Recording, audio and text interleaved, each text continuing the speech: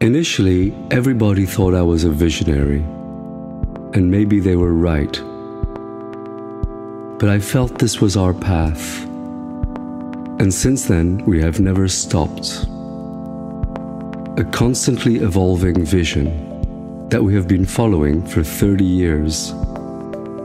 A vision constantly challenging us, especially in hard times, but that has taught us so much.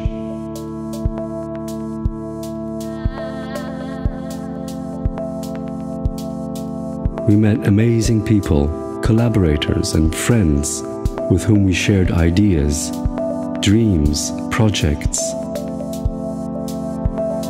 We shared love and passion for this job, but mainly we shared the same vision, constantly giving it shape, identity, functionality, feelings, forms, emotions reflecting in every detail the genius and beauty of this land, the style and philosophy of this company.